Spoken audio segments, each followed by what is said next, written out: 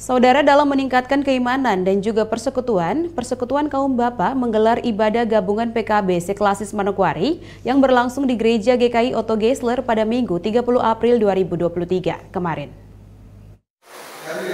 Minggu 23 April 2023, Persekutuan Kaum Bapak melaksanakan ibadah gabungan seklasis Manokwari yang di mana ini rutin untuk dilakukan.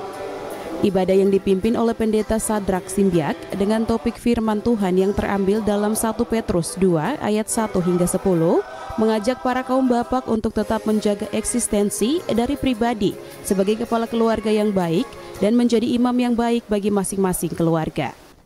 Wakil Ketua Trianus Rumsayor saat ditemui seusai ibadah mengatakan bahwa pelaksanaan ibadah PKB seklasis Manokwari ini sebenarnya bertujuan untuk menjadi wadah bagi bapak-bapak untuk menjalin kebersamaan dan membahas beberapa hal yang penting dalam kehidupan pelayanan bagi kaum bapak yang ada di klasis Manokwari.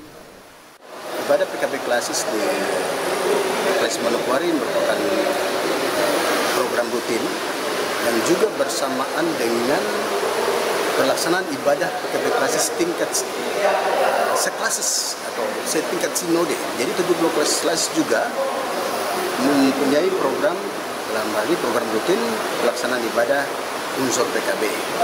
Dan kita di Manokwari kita ambil di waktu akhir bulan atau minggu keempat.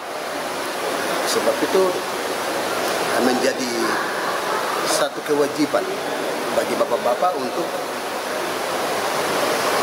untuk mengekspresikan semua kepenatan, semua kesibukan apa pun, kita berharap di dalam ruang ini kita bisa saling berdiskusi.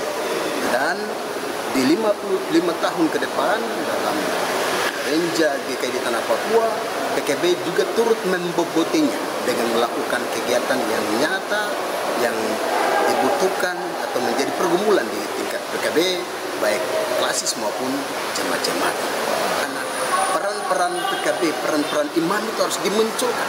Hari-hari menghimpun keluarganya, bapak-bapak menghimpun keluarganya untuk masuk dalam hadirat Tuhan. Membawa banyak uang gotok keluarganya untuk duduk di bawah kaki salib Yesus. Ya, hal yang dilakukan adalah doa malam, doa bangun tidur, menghimpun dalam kebaktian keluarga, doa di meja makan, bahkan nasihat-nasihat di meja makan maupun di dalam ruang-ruang pertemuan.